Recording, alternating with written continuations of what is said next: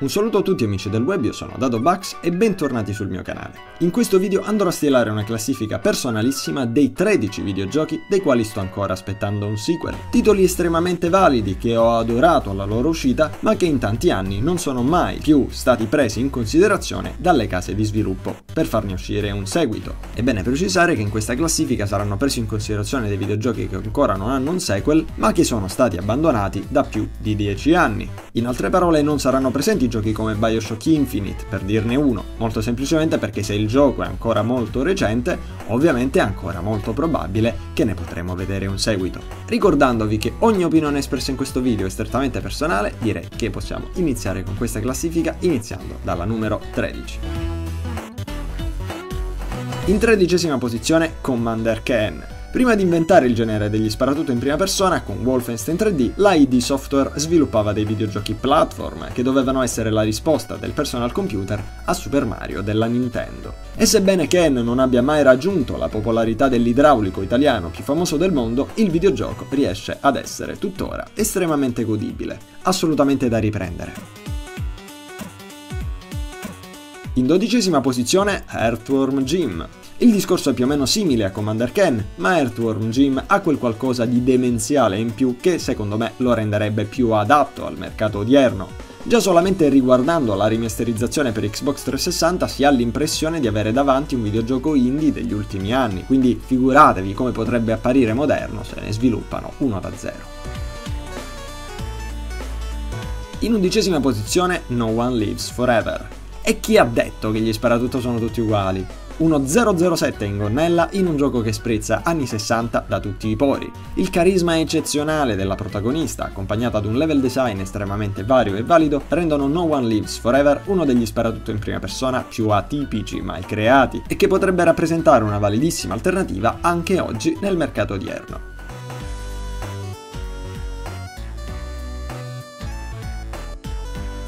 In decima posizione Murder Death Kill. Sono conscio che i platform in tre dimensioni al giorno d'oggi sono estremamente diminuiti, ma c'è anche da dire che spesso probabilmente si punta sulle meccaniche di gioco sbagliate. MDK era estremamente innovativo all'epoca, forse addirittura troppo, con l'ambizione di rappresentare tutta l'area di gioco contemporaneamente.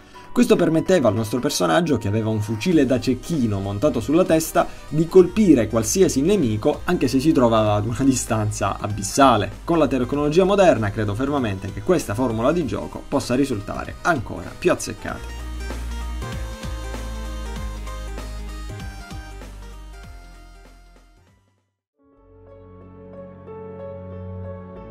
In una posizione Age of Empires 2. Dai su, credo che questo non abbia bisogno di presentazioni. La strategia in tempo reale a sfondo storico come non l'abbiamo mai più vista, riproposta in quella maniera. L'edizione in alta definizione aggiunge poco al titolo, che, dal mio punto di vista, ha proprio bisogno di essere ripreso da zero.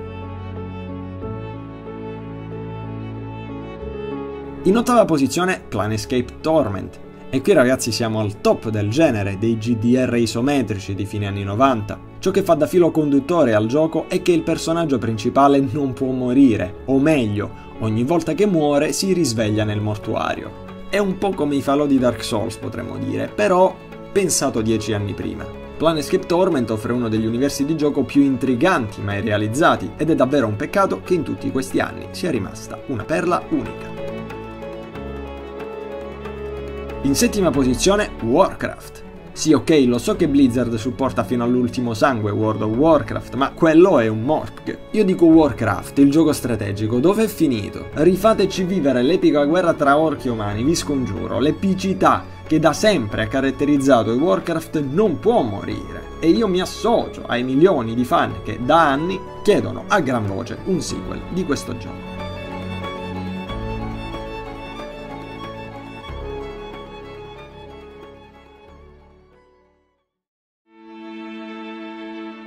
In sesta posizione Arcanum, un gioco di ruolo isometrico steampunk nel quale il mondo è diviso tra tecnologia e magia. Più che un sequel diretto mi piacerebbe che sviluppassero un Arcanum 2 in prima persona, in stile Dishonored, Innanzitutto perché si presterebbe tantissimo, proprio come stile, e poi perché mi piacerebbe vedere per Arcanum la stessa evoluzione che ci fu nel brand di Fallout, dal 2 al 3. Potrebbe sembrare troppo ambiziosa come speranza, però sapete com'è, la speranza è l'ultima a morire.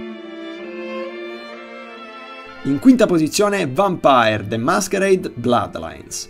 Un videogioco che è un vero e proprio oggetto di culto tra gli appassionati, con una community attivissima ancora oggi, ad oltre 10 anni dall'uscita. Personalmente credo che siano solamente due i giochi di ruolo che abbiano uno stampo metropolitano e che riescano così bene ad ibridare gli FPS ai giochi di ruolo. Deus Ex e Vampire. Di Deus Ex per fortuna stanno uscendo dei sequel. E di Vampire? Dove sono?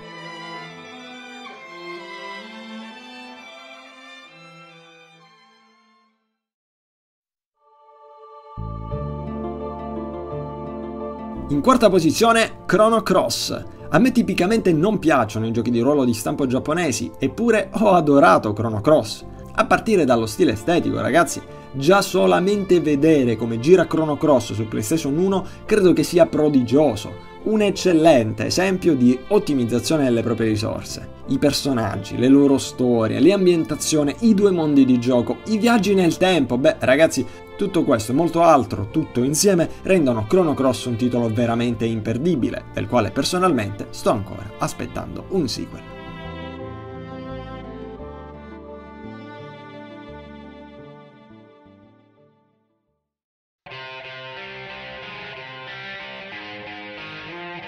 In terza posizione, Manhunt. E ne parlo spesso di Manhunt e dico fondamentalmente sempre le stesse cose. Però non c'è molto altro da dire. Manhunt è un videogioco stealth in cui la violenza è prevista e portata all'estremo, in quanto il nostro antagonista è un regista che sta girando un film splatter. E per rendere più realistiche le scene non ha attori, ma è il protagonista del gioco che per avere salva la vita deve uccidere chi gli si para davanti. Un gioco sicuramente molto controverso, ma che se vi devo dire la verità io ho apprezzato davvero tantissimo.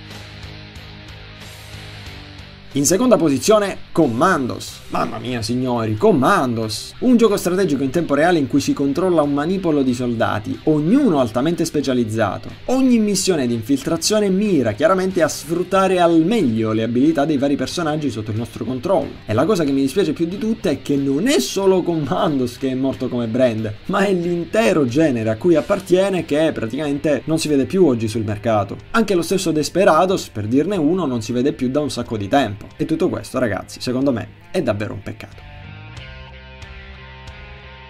E questo ragazzi è tutto, io come sempre vi ringrazio dell'attenzione e vi invito a lasciarmi un commento qua sotto nel quale mi dite i vostri giochi dei quali voi aspettate ancora un sequel. Ed io, beh, a questo punto vi lascio alla prima posizione. Io credo fermamente che questa prima posizione sia talmente scontata che non abbia bisogno di didascalie, quindi grazie a tutti, ci vediamo alla prossima, ciao.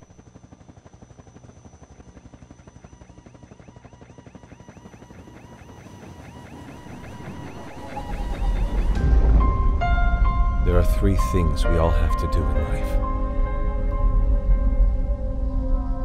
One, dream.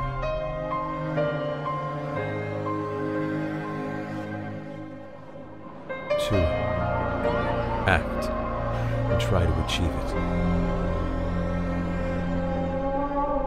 And three, succeed or die trying.